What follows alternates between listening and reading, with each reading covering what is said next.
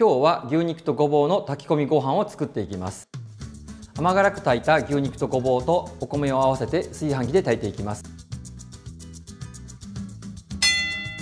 まずごぼうですね。今日はささがきにしていきますがこれ洗ってあります。少しこう表面に切り込みの方を入れていただいて人差し指をちょっと出していただくとこう反りにくくなりますので出していただいて切ったそばからね変色していきますので、えー、酢水に落としていってください。これぐらいになったらですね縦半分に切っていただいて、もう小口からこう切っておいてください、えー、5分経ちましたら水気の方ざるにあけて切っておいてください。人参の方用意してありますので、ね、えー、こちら今日は1006本っていうですね、えー、マッチ棒の太さぐらいの千切りにしていきたいと思います。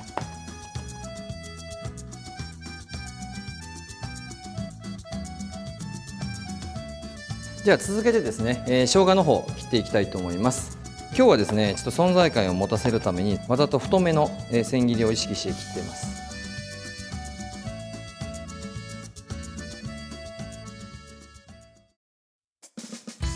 はいそれではですね煮ていきたいと思います。かつおだし砂糖ですね。酒ですね。醤油ですね。みりんです。すべて合わせていただいてこちらにですね、えー、野菜人参の方入れていきます。ささがきしたごぼうも入れていきます。こちら火にかける前に牛肉を入れていきます。熱いところに入れると一気に塊になってしまいますので、ほぐしにくいですからもう冷たいうちに入れておいてですね、え温度を上げながらほぐしていかれるといいと思います。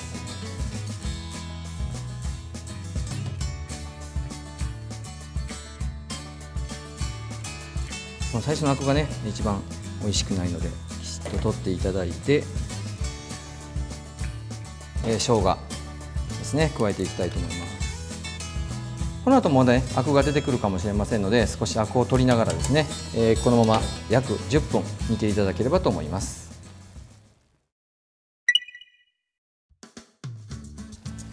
はいそれではですね10分ほど煮ていただくとねこのようにこう味が馴染んだ感がね出ましたのでこのまま火を止めてですね、えー、ここでですねしっかり冷ましていきたいと思います。ね、後ほどご飯炊く時に美味しく炊く秘訣になりますので急ぐ場合は氷水とかあの水に当ててですね急激に冷ましていただくといいと思います。はいそれではですね具材がこのように、えしっかり冷めましたのでこちらですね煮汁と具と分けていきたいと思います。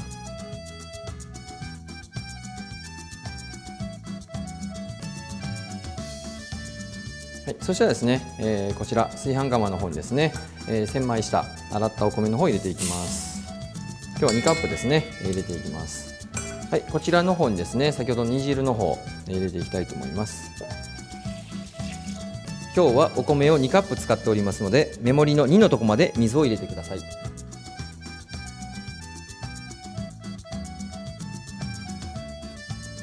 でこちらの方にですね、えー、具の方のせます。でこちら具を入れてからですねこうお米と混ぜないようにですねお米の対流妨げますので、ね、えー、具材の方広げていただいてでこのまま炊飯器の方で炊いていきたいと思います。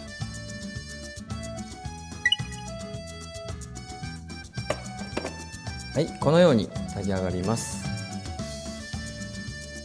そこから混ぜていただいてほぐすようにしていただければと思います。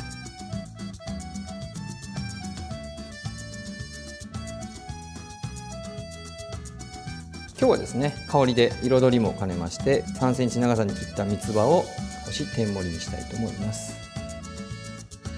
こちらで完成となります。牛肉とごぼうの炊き込みご飯の完成です。ごぼうの代わりにきのこや里芋を使っていただくのもおすすめです。ぜひ作ってみてください。